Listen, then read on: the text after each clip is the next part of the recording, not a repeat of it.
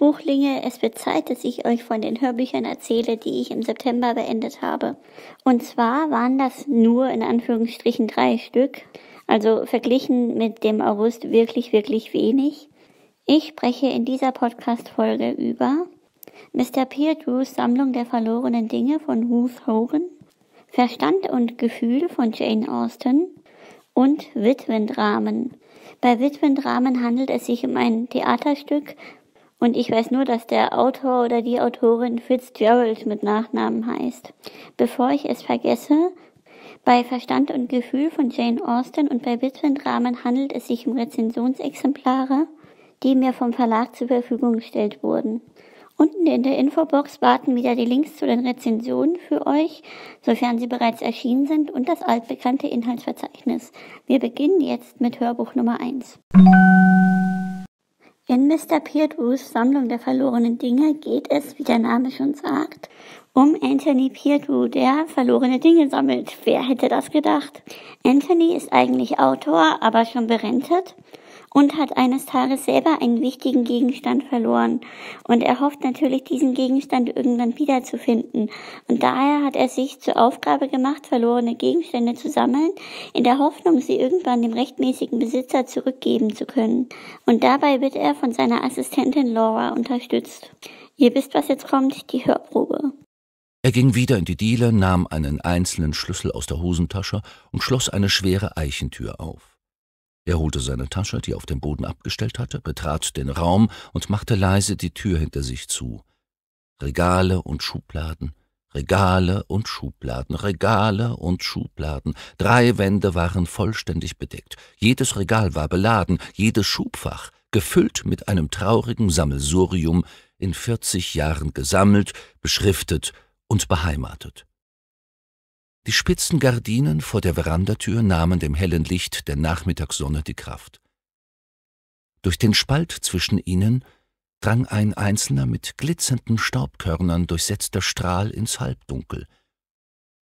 Der Mann nahm die Huntley and Palmers Keksdose aus seiner Tasche und stellte sie vorsichtig auf einen großen Mahagoni-Tisch, die einzige freie Oberfläche im Raum. Er hob den Deckel und untersuchte den Inhalt eine hellgraue Substanz von der Beschaffenheit grobkörnigen Sandes. Etwas Ähnliches hatte er vor vielen Jahren im Rosengarten hinter dem Haus verstreut. Aber das hier waren doch bestimmt keine menschlichen Überreste.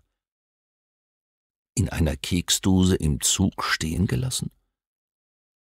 Er machte den Deckel wieder zu, er hatte versucht, die Dose im Bahnhof abzugeben, doch der Schaffner, davon überzeugt, dass es Müll war, schlug vor, er solle sie in den nächsten Abfalleimer werfen.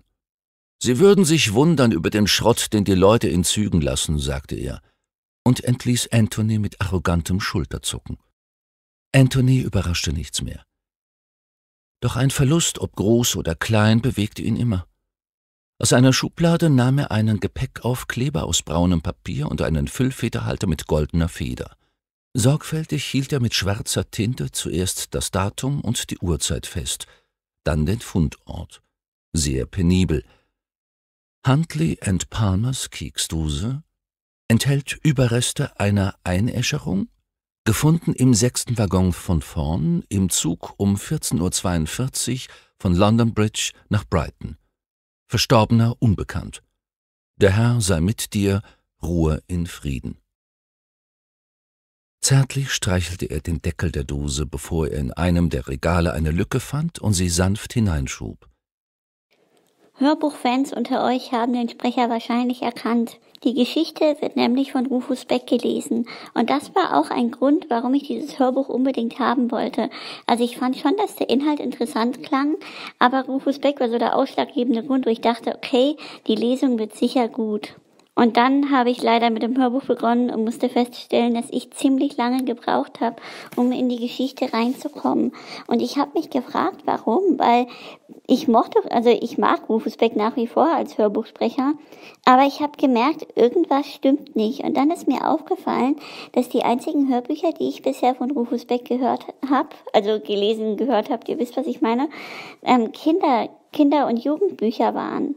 Und dort, finde ich, hat er nochmal eine lebendigere Interpretation. Er verstellt zum Beispiel seine Stimme bei anderen Charakteren und in Kinderbüchern und Jugendbüchern gibt's halt auch viele Dialoge. Das heißt, da kann er sich auch richtig entfalten. Ich denke, ihr wisst, was ich meine. Und hier war so ein Schreibstil, der im Grunde wenig Dialoge enthielt und dafür aber viel, viel indirekte Rede. Dennoch fand ich es einen schönen Schreibstil und der Schreibstil hat auch wirklich gut zur Geschichte gepasst.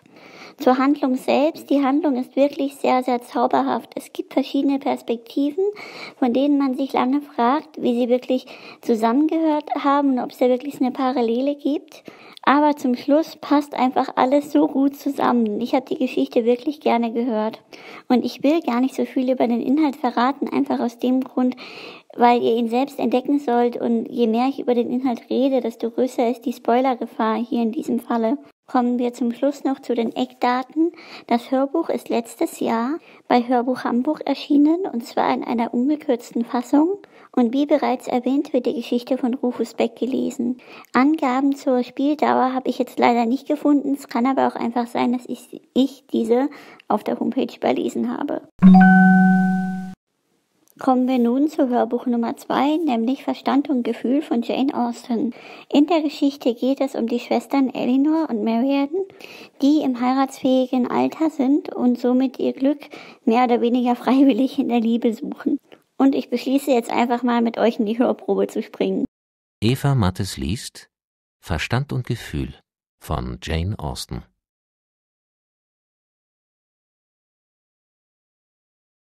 Die Familie Dashwood war seit langem in Sussex ansässig. Ihr Besitz war ausgedehnt und ihr Herrenhaus lag in Norland Park im Zentrum ihrer Ländereien, wo sie viele Generationen lang auf so achtbare Weise gelebt hatten, dass sie bei den Bekannten in der Umgebung allgemein in hohem Ansehen standen. Der vorherige Eigentümer des Besitzes war ein Junggeselle, der ein sehr hohes Alter erreicht und in seiner Schwester viele Jahre lang eine ständige Gefährtin und Haushälterin gehabt hatte. Aber ihr Tod, der zehn Jahre vor seinem eigenen eintrat, brachte große Veränderungen in seinem Haus mit sich, denn um ihren Verlust zu ersetzen, lud er die Familie seines Neffen Mr. Henry Dashwood ein, des gesetzlichen Erben von Norland, dem er den Besitz ohnehin vermachen wollte, in seinem Haus zu leben. In der Gesellschaft seines Neffen und seiner Nichte und ihrer Kinder verbrachte der alte Herr seine Tage in großer Behaglichkeit alle wuchsen sie ihm mehr und mehr ans Herz. Die ständige Sorge von Mr. und Mrs. Henry Dashwood um sein Wohlergehen, die nicht bloßem Eigennutz, sondern echter Herzensgüte entsprang, gewährte ihm all die Bequemlichkeit, die er in seinem Alter brauchte, und die Ausgelassenheit der Kinder gab seinem Leben einen zusätzlichen Reiz. Aus einer früheren Ehe hatte Mr. Henry Dashwood einen Sohn, von seiner jetzigen Gemahlin drei Töchter. Der Sohn, ein zuverlässiger, angesehener junger Mann, war durch das beträchtliche Vermögen seiner Mutter, das bei seiner Volljährigkeit zur Hälfte in seinen Besitz gekommen war, großzügig versorgt. Durch seine eigene Heirat, die kurz darauf stattfand, vergrößerte er sein Vermögen noch weiter. Die Nachfolge auf Norland war also für ihn nicht so unbedingt wichtig wie für seine Schwestern, denn ihr Vermögen würde ohne das, was ihnen durch den Anspruch ihres Vaters auf den Besitz zufallen würde, nur gering sein. Ihre Mutter hatte nichts und ihr Vater nur 7000 Pfund zu seiner eigenen Verfügung, denn die restliche Hälfte des Vermögens seiner ersten Frau sollte ebenfalls an ihren Sohn übergehen, und er verfügte darüber nur zu seinen Lebzeiten. Der alte Herr starb. Sein Testament wurde eröffnet und gab wie fast alle Testamente ebenso Anlass zu Enttäuschung wie zu Freude. Er war weder so ungerecht noch so undankbar, seinem Neffen den Besitz vorzuenthalten, aber er vermachte ihn ihm unter Bedingungen, die das Erbe zur Hälfte wieder entwerteten. Buchlinge, wir haben hier eine Geschichte, die ich euch wieder als Hörbuch empfehlen kann. Und zwar ausschließlich als Hörbuch. Ich weiß nicht, ob ich das in einer der letzten Podcast-Folgen erzählt habe, aber ich habe das Buch ja abgebrochen, also Verstand und Gefühl, und mich dann für die Hörbuchfassung entschieden, weil ich so Probleme mit dem Schreibstil hatte und einfach gehofft habe, dass das ein Hörbuchsprecher, in dem Fall zum Glück Eva Mattes, irgendwie noch ein bisschen auffangen kann. Und ich muss sagen, die Geschichte hat mir zwar von der Interpretation her sehr gut gefallen, aber leider nicht wirklich vom Inhalt. Das liegt einfach daran, dass ich Jane Austens Schreibstil unglaublich langatmig finde und sie kaut uns einfach unglaublich viel vor. Also das heißt, sie beschreibt, mit beschreiben meine ich, dass sie uns einfach erklärt, wie die Protagonisten denken, wie unsere Charaktere denken. Und wenn sie uns das nicht erklärt, dann lässt sie zwei Charaktere einen Dialog haben und in diesem Dialog erörtern sie, was denn Charakter 3 denkt oder wie Charakter 3 sich in Situation X entscheiden sollte. Und die Dialoge fand ich dann noch recht unterhaltsam, aber ja, dieses ganze Vorkauende hat's für mich unglaublich zäh gemacht, weil ich da nicht wirklich mitfiebern konnte, weil mir ja quasi der ganze Inhalt vorgegeben wurde. Und auch über den Inhalt möchte ich gar nicht so viel erzählen, weil ich der Meinung bin, man hätte ihn gut zusammenkürzen können kommen wir jetzt noch zu den guten Seiten von dem Hörbuch. Und zwar kam ich mit den beiden Protagonistinnen, Elinor und Marian, sehr gut zurecht. Elinor ist so ein bisschen rational und schafft es, ihre Gefühlswelt gut vor der Außenwelt zu verstecken, also vor Freunden und Familien. Und Marian hingegen ist einfach sehr emotional und man merkt ihr einfach deutlich an, wie es ihr geht, was ja auch nicht schlimm sein muss. Dann fand ich es auch sehr interessant, einen Roman zu lesen, der im 18. Jahrhundert spielt und auch von einer Autorin geschrieben wurde, die in der Zeit einfach gelebt hat. Weil heutzutage ist es ja so, Ken Follett setzt sich hin, recherchiert eine Runde und schreibt dann irgendwie einen historischen Roman. Aber das, was er dann beschreibt, beruht einfach nur auf Recherche. Und Jane Austen hingegen greift in ihrem Roman quasi die Konflikte auf, die in der damaligen Zeit einfach wichtig waren. Zum Beispiel in der Hörprobe merken wir, dass einfach Geld ein sehr wichtiges Thema war. Also die Frage war, wie viel Besitz hat man, von was kann man leben? Und mir hat die Hörbuchgestaltung, also die Interpretation von Eva Mattes unglaublich gut gefallen. Sie hat die Dialoge toll gelesen und hat es auch geschafft, so bestimmte Aspekte von der Geschichte hervorzuheben. Es gab nämlich beim Lesen so viele Momente, wo mir nicht klar war, wie unsere Protagonistinnen jetzt über manche Nebencharaktere denken. Und es gab so Situationen, in denen irgendetwas passiert ist, wo ich auch nicht wusste, ob das jetzt gut oder schlecht ist. Und das konnte Eva Mattes einfach stimmlich noch so ein bisschen besser herausarbeiten, so dass mir irgendwie klar war, wie man das Verhalten oder die Situation jetzt zu deuten hat. Und wirklich, Eva Mattes hat einen großen Teil dazu beigetragen, dass ich dieses Hörbuch zu Ende gehört habe. Kommen wir zum Schluss zu den Eckdaten. Das Hörbuch Verstand und Gefühl von Jane Austen ist 2006 im Aaron Verlag erschienen und zwar in einer ungekürzten Lesung. Es liest Eva Mattes. Das Hörbuch hat eine Laufzeit von 12 Stunden und 15 Minuten. Und was den Preis betrifft, bin ich mir ehrlich gesagt nicht ganz sicher. Auf der Verlagsseite steht, dass das Hörbuch 50 Euro kostet, beziehungsweise 49,99 Euro. Aber als ich heute die Rezension vorbereitet habe, habe ich gesehen, dass es das Hörbuch bei meiner Buchhandlung als Download, ich glaube, für 15 oder 20 Euro gibt. Und es gibt wohl auch zwei unterschiedliche Fassungen, also noch eine Hörbuchfassung mit einer anderen Sprecherin. Kommen wir zum Schluss zu meinem kleinen Monatshighlight und zwar Witwendramen von Vorname nicht gefunden Fitzgerald. Hier handelt es sich um keinen klassischen Roman, sondern um ein Theaterstück, in dem es um drei Witwen geht, die im Grunde die Konflikte des Witwendaseins so ein bisschen hocharbeiten. Zum einen von dem Gefühl, endlich frei zu sein, bis hin zu den Sachen, dass sie den Partner in Anführungsstrichen nicht loswerden und er sie immer noch begleitet. Und auch der Frage, wie sie den Rest ihres Lebens verbringen. Wir springen in die Hörprobe. Ich heiße Helene Weigel. Ich bin die Witwe des Stückeschreibers Bertolt Brecht. Ich habe seine Gedichte immer geliebt auch die ganz unscheinbaren und besonders die kleinen, wie das hier aus den Bukower Elegien. Der Rauch. Das kleine Haus unter den Bäumen am See. Vom Dach steigt Rauch. Fehlte er, wie trostlos dann wären Haus, Bäume und See. Ah, schön. Naja, Berthold hat sich nie etwas aus der Natur gemacht. Er mochte die vom Menschen umgestaltete Natur. Seine Aktivität machte die Natur für ihn erst bewohnbar. Und deshalb dachte ich, hatte auch dieses Bild vom Rauch gewählt, das mich immer an japanische Tuschzeichnungen erinnert. Aber nun musste ich erfahren, dass Berthold mit dem Rauch etwas ganz anderes im Sinn hatte. Der Rauch, der aus dieser Karte aufstieg und immer dann, wenn er im Buku war, war das Zeichen für sturmfreie Bude. Diese Schlampe, diese schlechte Schauspielerin, deren Namen ich mich weigere hier auszusprechen und der Öffentlichkeit preiszugeben, schürte immer dann, wenn sie ihn vögeln wollte, erstmal den Ofen an, damit der Schornstein qualmte. Und nun hasse ich dieses Gedicht. Dann haben sie nochmal aufgemacht. Und wie sie gesehen haben, dass nichts mehr zu machen ist, haben sie ihn gleich wieder zugemacht. Das hätten sie auch sparen können. Ich konnte meinen nicht mehr ansehen. Meine Tochter hat ihn sich angesehen. Die hat heute noch Albträume. Wissen Sie, was mich die Beerdigung von meinem Mann gekostet hat? Dafür hätte ich ungelogen einmal um die Welt fliegen können. Wir sind so lang gegangen, durch Glück und Freud und Leid. Was wir auch angefangen, wir waren stets zu zweit. Nun hast du mich verlassen, schwebst fern auf unserer Wolke. Halt frei den Platz an deiner Seite, wenn ich der einst dir folge. Oh, oh, Mädels, das werde ich euch nie vergessen, dass ihr mitgegangen seid. Aber das ist doch selbstverständlich. Alleine hätte ich das nie geschafft und jetzt, wo ich da bin, möchte ich am liebsten wieder weg. Eine Viertelstunde musst du schon durchhalten. Wozu soll das gut sein? Dann fühlst du dich besser, ich schwör's dir. Besser?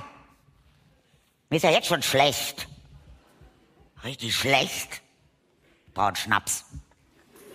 Aber Sonst halte ich das nicht durch. du kannst doch jetzt nicht, du kannst doch jetzt keinen Schnaps trinken, du stehst an seinem Grab. Na und? Haha. und wie ich das kann. Buchlänge, ich muss an dieser Stelle gestehen, dass ich die Hörprobe gar nicht so gut gewählt finde. Und zwar gibt es in dem Stück viele Momente, in denen die drei Sprecherinnen wirklich gut miteinander harmonieren und es eine richtig gute Dynamik gibt. Und genauso eine von diesen Szenen hätte ich für die Hörprobe ausgewählt. Die Geschichte wird von den drei Talbach-Frauen gelesen, und zwar Katharina Talbach, Anna Talbach und Nelly Talbach. Ich weiß nicht, ob ihr so die Theatergänger seid, aber es gibt ja Theaterstücke, die keine klassische Rahmenhandlung haben. Hier ist es so, dass es natürlich drei Witwen gibt, aber die Sprecherinnen auch immer wieder Sequenzen vortragen, in denen es um echte prominente Witwen geht, wie zum Beispiel in der Hörprobe. Und da hat mir manchmal so der Übergang gefehlt zwischen prominenter Witwe hin zu fiktiver Witwe. Ich fand es aber schön, dass dieses Witwendasein in den verschiedenen Aspekten in diesem Stück gut zur Geltung gekommen ist. So zum einen dieses Aufatmen, dass man jetzt endlich wieder so leben kann, wie man möchte, weil man sich keinem mehr verpflichtet fühlen muss und keinen Ehemann in Anführungsstrichen bedienen muss aber dann auch die große Einsamkeit, ja große, jo, die große Einsamkeit, so dieses Zurückbleiben und die Frage, wie man jetzt den Rest des Lebens am besten verbringen soll. Und dann natürlich auch die Frage, was denn die Ehe auch bisher ausgemacht hat, beziehungsweise wie die Ehe denn aussah, bevor der Partner gestorben ist. Und das war wieder so eine Lesung, die mir unglaublich Lust auf ein Theaterstück gemacht hat. Ich war ja früher tatsächlich öfter mal im Theater, was einfach daran lag, dass ich in einer Stadt gewohnt habe, die auch ein wirklich gutes Theater zu bieten hatte. Also wenn jemand von euch irgendwie in der Nähe von Marburg wohnt, geht dort in das Theater und besucht es für mich. Was ich an dieser Stelle vielleicht noch erwähnen sollte, in diesem Hörbuch gibt es sehr viel schwarzen Humor. Also ich fand, es gab schon so ein paar Sprüche, Witze, die wirklich unter die Gürtellinie gehen, wo ich dachte, wenn es jetzt irgendwen gibt, der gerade seinen Partner auf irgendwelche Weise auch immer verloren hat, sollte das Hörbuch vielleicht nicht unbedingt hören.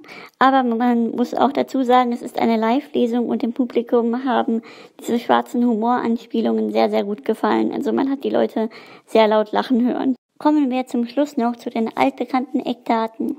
Das Theaterstück Witwendramen wird von Random House Audio als szenische Lesung mit Untertitel Live-Mitschnitt bezeichnet, hat eine Spielzeit von einer Stunde 13 Minuten und kostet 13 Euro. Es lesen Katharina Thalbach, Anna Thalbach und Nelly Thalbach. Buchlinge, das war mein Hörmonat für September.